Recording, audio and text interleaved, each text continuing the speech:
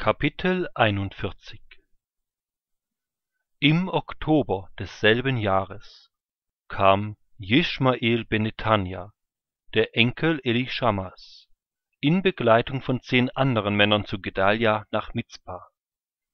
Jischmael gehörte zur königlichen Familie und war einer von den Oberen des Königs gewesen. Als sie zusammen beim Gastmahl saßen, fielen Jischmael und seine zehn Männer plötzlich mit gezogenen Schwertern über Gedalja ben Ahikam her. Sie töteten den Enkel Schaphans, den doch der König von Babylon als Statthalter für das Land eingesetzt hatte. Jischmael ließ auch alle Judäer, die sich bei Gedalja in Mizpa aufhielten, niedermachen und ebenso die chaldäischen Soldaten, die er dort fand. Am nächsten Tag, als noch niemand von der Ermordung Gedaljas erfahren hatte, näherten sich achtzig Männer aus Sichem, Shiloh und Samaria. Sie hatten ihre Bärte abgeschnitten, ihre Gewänder eingerissen und ihre Haut blutig geritzt, und wollten nach Jerusalem, um Weihrauch und Speisopfer in das Haus Jahwes zu bringen.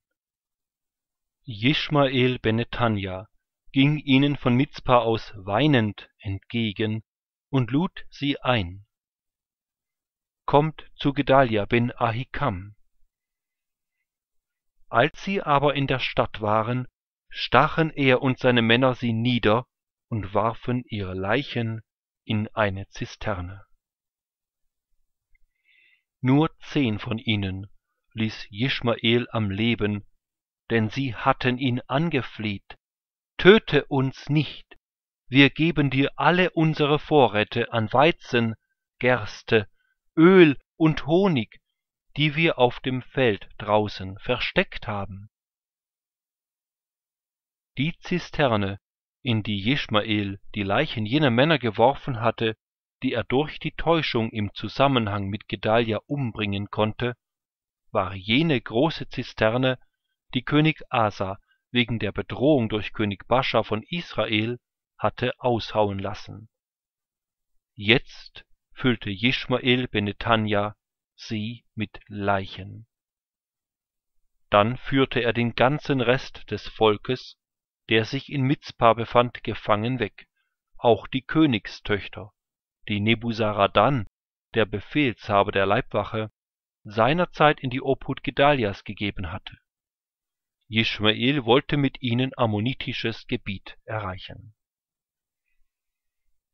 Als Johanan ben Kareach und die anderen Offiziere von den Verbrechen Jischmaels erfuhren, riefen sie ihre Truppen zusammen und verfolgten ihn.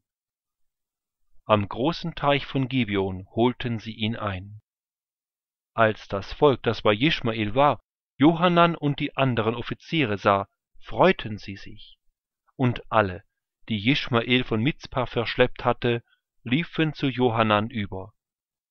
Jischmael Benethanja selbst konnte allerdings mit acht Männern entkommen und floh zu den Ammonitern. Johanan ben Karjach und die Offiziere bei ihm übernahmen nun die Verantwortung für den Rest des Volkes, den sie Jeschmael Benethanja bei Gibeon abgejagt hatten, nachdem dieser Gedalja erschlagen und das Volk von Mizpa entführt hatte. Es waren Männer, Frauen und Kinder, auch einige Soldaten und Hofbeamte.